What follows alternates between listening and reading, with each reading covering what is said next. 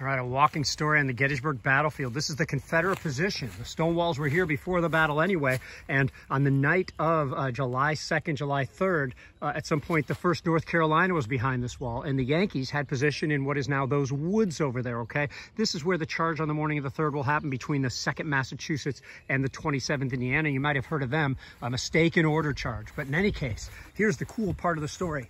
Here is the 1st North Carolina. They took some of these large boulders here and incorporated them into their line. Um, on the night of uh, July 2nd, I believe it is, or the morning of July 3rd, Augustus Lucian Coble spent the night right around here and he came back later and identified this spot right here, looking over at the Union position as the spot where he spent that evening or where he was positioned.